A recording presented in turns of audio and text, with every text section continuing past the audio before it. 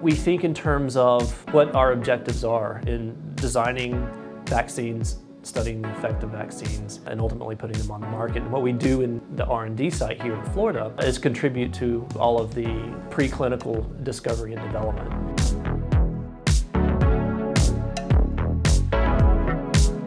Most exciting part about working at Vaxxinity right now is the opportunity to address these neurochronic or otherwise metabolic diseases that the treatment options on the market are really limited right now. So if we have a breakthrough with the vaccine, it could make a huge difference in the medical landscape.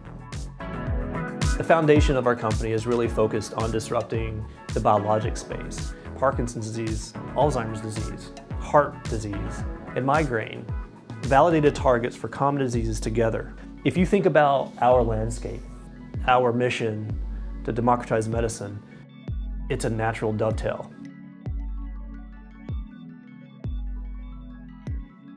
Coming into work every morning knowing our vaccines can change the world is all I really need. We are going to democratize health.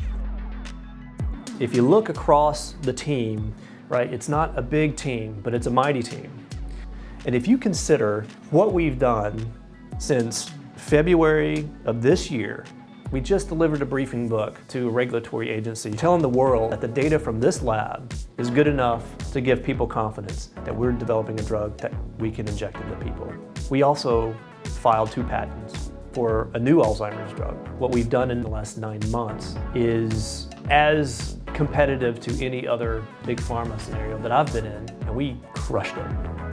We've got an amazing track record with our technology. Now we just need to prove that it works.